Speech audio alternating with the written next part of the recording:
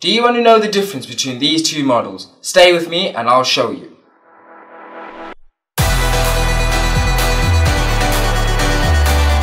My name is Kyle and you are watching UK Planet Tools channel. I want to tell you the two differences between these two models. A DTD152 is an 18 volt entry level impact driver. DTD154 is a brushless motor and has a 3 stage impact selection. Let's jump into the test.